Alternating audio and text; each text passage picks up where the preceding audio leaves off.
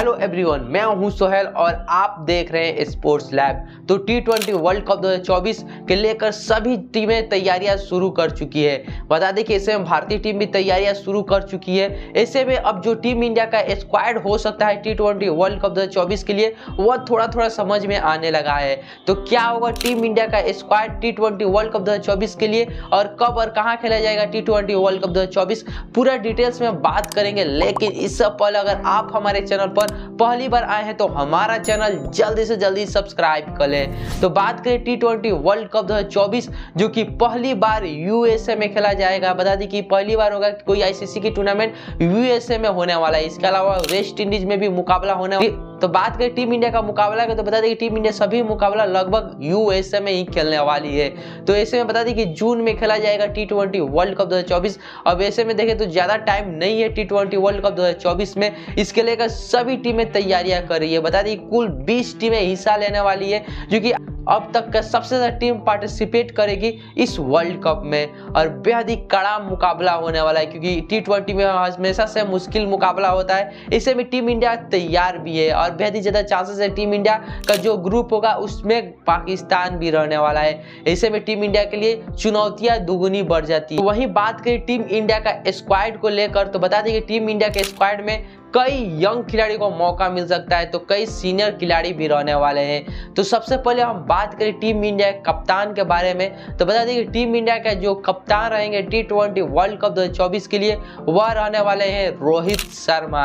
इसके अलावा vice captain जो कि हार्दिक पांड्या ही रहने वाले हैं, क्योंकि हार्दिक पांड्या वैसे कैप्टन रहते हैं, लेकिन इंजरी से कंटिन्यू जूझ रहे हैं। पता नहीं है कब तक फिट रहेंगे, कब तक अनफिट रहेंगे। ऐसे में रोहित शर्मा के साथ ही बीसीसीआई आगे बढ़ने वाली है टी वर्ल्ड कप 2024 के लिए तो वही बात करें फाइनल स्क्वाड का, जो कि टीम इंडिया का होगा वर्ल्ड कप 2024 के लिए तो वह कुछ इस प्रकार से हो सकता है। रोहित शर्मा बतौर कप्तान खेलते हुए नज़र आ सकते हैं टी ट्वेंटी वर्ल्ड कप 2024 में। इसके बाद विराट कोहली, फिर शुभमन गिल, सूर्य कुमार यादव, ऋतुराज गायकवाड़, ईशान किशन, यशस्वी जायसवाल, रिंकू सिंह, इसके बाद हार्दिक पांड्या, रविंद्र जडेजा, रवि बिश्नोई और सिद्दीप सिंह, मोहम्मद शमी, मोहम्मद सिराज, जसप्रीत बुमराह।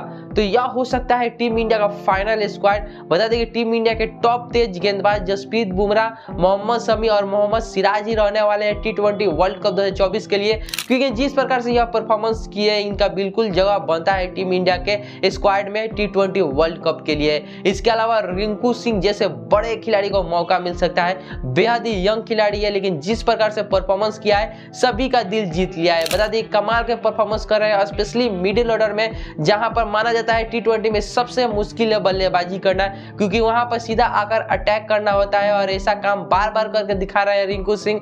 ऐसे में रिंकू सिंह को हमें लगता है कि कंफर्म स्क्वाड में जगह मिलने वाला है। इसके अलावा यंग खिलाड़ी का बात करें तो पहली बार रवि बिश्नोई भी शामिल हो सकते हैं। रवि बिश्नोई कंटिन्यू कई वर्षों से टीम इंडिया से खेल रहे हैं, लेकिन बड़े टूर्नामेंट में उन्हें उतना मौका नहीं मिलता है। लेकिन टी वर्ल्ड कप में मौका मिल सकता है।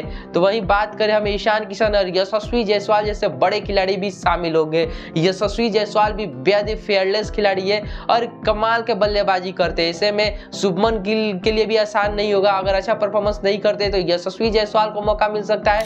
बतौर ओपनर इसके अलावा ऋतुराज गायकवाड़ भी लाइन में है। तो यानी कि टीम इंडिया के देखे तो स्क्वाड यह परफेक्ट कंडीशन देखे तो थोड़ा बहुत स्पिन फ्रेंडली ही होती है। इसलिए टीम इंडिया के लिए थोड़ा बहुत आसान है। तो आपका क्या राय टीम इंडिया के स्क्वाड को लेकर टी ट्वेंटी वर्ल्ड कप दो के लिए? हमें कमेंट बॉक्स में कमेंट करके ज़रूर बताएँ। तब तक ले मिलते हैं हम आपको अगले वीडियो में।